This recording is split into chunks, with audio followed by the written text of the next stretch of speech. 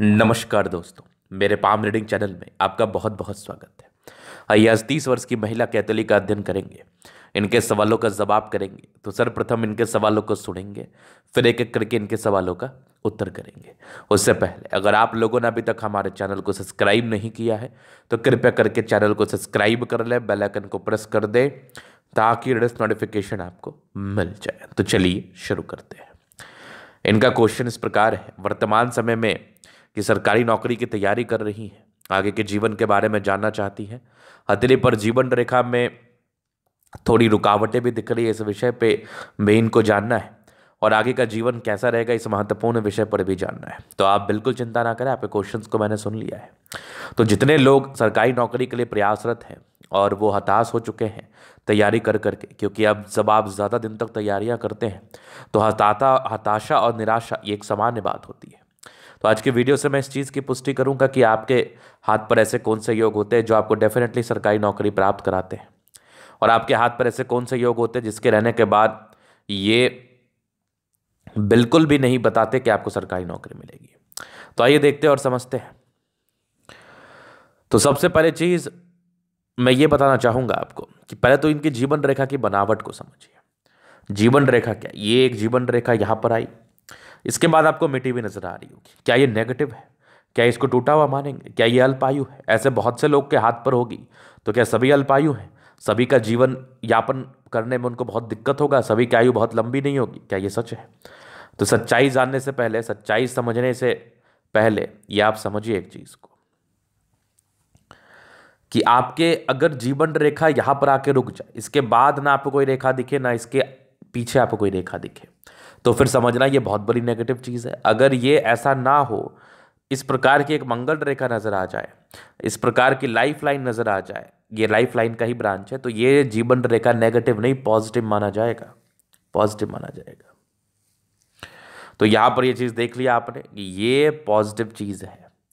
ये progress line है। जीवन में परिवर्तन वाला चिन्ह है पॉजिटिव परिवर्तन वाला चिन्ह है। इस केस में नेगेटिव परिवर्तन नहीं होता है। इस केस में नेगेटिविटी नहीं होती है। ये समझ लिया आपने? तो ये एक बहुत महत्वपूर्ण चीज़ मैंने आपको बताया कि ये बिल्कुल भी बिल्कुल भी नेगेटिव परिवर्तन नहीं माना जाएगा और ये पॉजिटिव होगा अगर आप किसी हथेली पर अवस्थित है। तो आप अपने जीवन को बहुत सार्थकता के साथ बिताएँगे और इस समय बहुत ज़्यादा ही तरक्की आपको प्राप्त होगी, तरक्की महसूस होगी। और आप जीवन पर बहुत तरक्की व प्रगति को प्राप्त करने वाले हैं। अगर ऐसे कुछ चिन्ह आपके हाथ पर अवस्थित हो तो। चलो जी, ये तो होगी पहली बात। तो यहाँ पर से आपको डरने और परेशान होने की आवश्यकता नहीं है। ये आयु लगभग आपके चौंतीस पैंतीस वर्ष की है। इस समय आपको तरक्की महसूस होगी। और आपका जीवन बदल जाएगा। तो संभावनाएँ हैं कि आप सरकारी नौकरी आपको प्राप्त हो जाए। क्योंकि जब मैंने सूर्य रेखा पर गौर किया तो सूर्य रेखा बड़ा अहम भूमिका निभाता है सरकारी नौकरी प्राप्त कराने हेतु, सम्मान दिलाने हेतु, यश, मान, सम्मान, प्रतिष्ठा दिलाने हेतु। तो इनके हाथ पर एक सूर्य रेखा बड़ी अच्छी दिख रही है मुझे। तो इस केस में जातक को यश, मान, सम्मान ज़रूर प्राप्त होता है। लेकिन जब सूर्य रेखा हृदय रेखा तक भी ना पहुँच पाए। तो समझिएगा कि आपको तरक्की तीस वर्ष की आयु के बाद ही मिलती है। हो सकता है पैंतीस और तीस वर्ष के अंतराल में मिले। लेकिन एक है तो क्लर्क लेवल की नौकरी मिलेगी, बहुत बड़ी अधिकारी के सुख आपको नहीं मिलेंगे आधिकारिक सम्मान नहीं मिलेगा, लेकिन हाँ क्लर्क लेवल की नौकरी आपको ज़रूर प्राप्त होगी और आप प्रयास करेंगे तो आपको सफलता मिलेगी। बाकी कुछ इसके लिए सार्थक उपाय हैं, जो आपके लगन को और तेज करा दे और जीवन पर सफलता को जल्दी प्राप्त करा दे, इसके लिए मैं आपको रेमेडी दे दूँगा। ताकि आप नौकरी प्राप्त कर पाएँ। तो आपने क्या जाना? अगर आपको उच्च अधिकारी बनना है तो सूर्य रेखा अगर इतनी बड़ी हो जाए तो ये आपको उच्च अधिकारी उच्च अधिकारी बनाती है, उच्च अधिकारी सुख जीवन पर प्रदान कराती है। पहला बात तो ये हो गया। दूसरा, अगर सूर्य रेखा हृदय रेखा तक पहुँचे तो 28 वर्ष की आयु तक सफलता मिलने के चांसेस बनते हैं, अट्ठाईस से 30 वर्ष के बीच। अगर आपकी सूर्य रेखा इसके नीचे चली जाए, जैसे इस हाथ पर आपको नज़र आ रहा होगा तो ये सफलता थोड़ा लेट दिखाती है, तीस वर्ष के बाद, जो कि इनके जीवन पर हो भी रहा है। तो लेकिन हाँ ये एक होप ज़रूर है ये एक पॉजिटिव होप ज़रूर है कि आपको जीवन के अंतिम आ, मतलब अंतिम समय में कह रहा हूँ कहने का तात्पर्य है अंतिम समय नहीं जब आप हार जाएँगे तीस वर्ष के तीस वर्ष के बाद तो फिर आपको ज़रूर सफलता मिलेगी। ये आप समझ गए? चलिए मैं आपको आगे और विचार कराता हूँ और क्या क्या चीज़ें आपके हाथ पर है। अगर मैं आपको बताऊँ तो आपके हाथ पर व्यापार की रेखा नहीं है। ये एक नेगेटिव लाइन है तो पैसे जमा करने में दिक्कत होगा, लेकिन हाँ ये आपके जो प्रश्न थे, सरकारी नौकरी प्राप्त करने हेतु तो उसकी आपको वो ज़रूर हासिल होगा और सरकारी नौकरी की प्राप्ति ज़रूर होगी।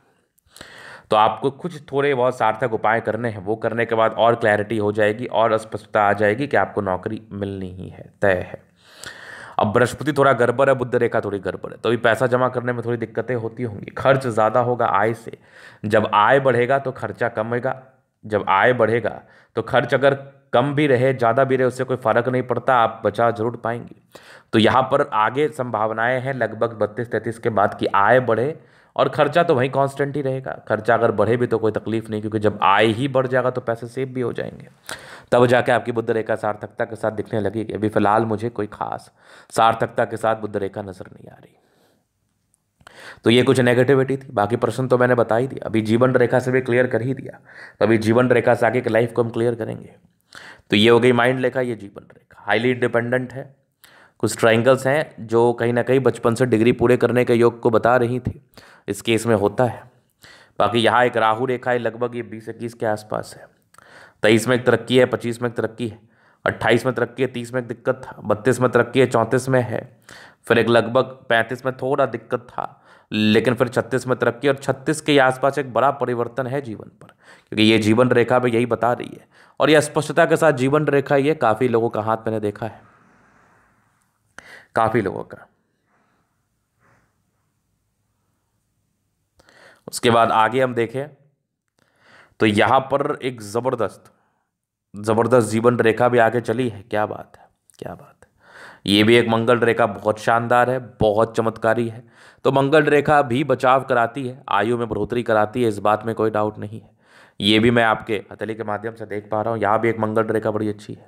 लग्जरियस लाइफ के समान स्तरीय योग है, बाकी ठीक है, हल्के फल्के स्ट्रेस थे मनी मैनेजमेंट बढ़िया है। इस केस में जातक के जीवन में पैसा आता है, थोड़े बहुत स्ट्रेस यहाँ भी दिखे मुझे। तो ये भी मैं देख पा रहा हूँ। बाकी शुक्र और मंगल प्रबलतम स्थिति में है। इस केस में जातक का जीवन कंफर्टेबिलिटी के साथ बीतता ज़रूर है नो डाउट ये भी मैं इनके अतली के माध्यम से देख पा रहा हूँ। शुक्र, मंगल बड़ी अच्छी स्थिति में है। तो अब मैं आगे विचार करूँगा अतली पर और क्या चीज़ें हैं। तो एक गजब थम्ब स्ट्रांग इच्छा शक्ति है।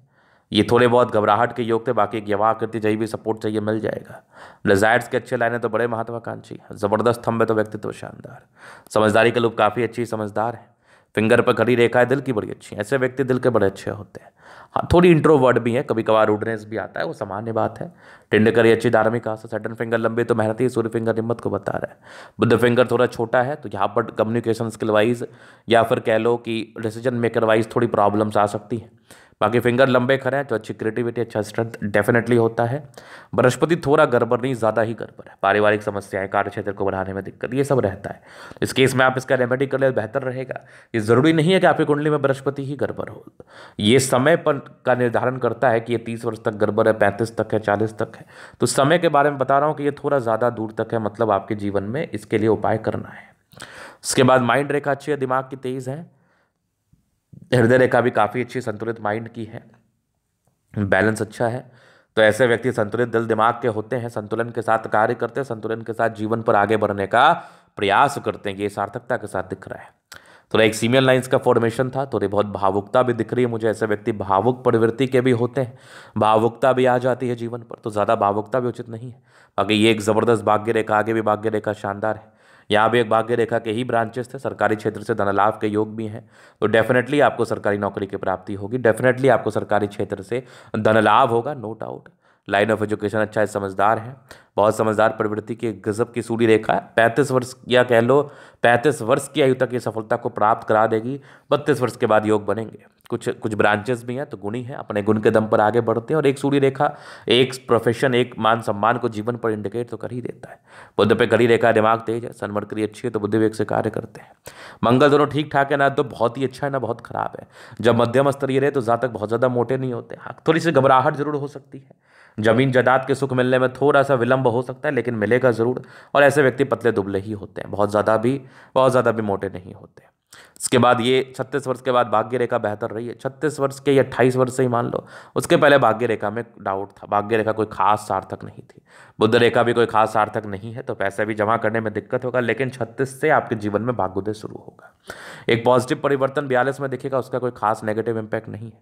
चंद्रमा पर ये लाइन्स यात्राओं को बता रहा है। चंद्रमा बढ़िया है तो जीवन पर स्टेबिलिटी रहती है माइंड शांत रहता है, कितने विषम परिस्थिति में भी जातक अपने आप को संभाल लेते हैं। तो ये था इनका का पूर्णता विश्लेषण। अगर आपको हमारा ये वीडियो पसंद है लाइक कर दे कमेंट कर सब्सक्राइब कर दे, अगर आप व्यक्तिगत रूप से मेरे साथ तरह का दिखा के सही जानकारी प्राप्त करना चाहते हैं, हमारा व्हाट्सअप में डिस्क्रिप्शन मिल जाएगा लेकर आप संपर्क कर सकते हैं। धन्यवाद।